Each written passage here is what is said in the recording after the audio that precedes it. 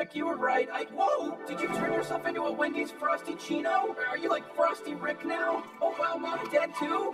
The whole family's food now, huh? You, gonna make me into a food? Wait, what am I? Choose wisely, choose Wendy's new French toast sticks. Wendy's has French toast sticks? Morty, did you get tricked into doing a commercial by a Frosty Cream cold brew? Rick, I, I thought that was you. Shut up, Morty. We gotta get out of here before they try to use our image to promote their. Morty, look what you did. Choose wisely. Choose Wendy's breakfast.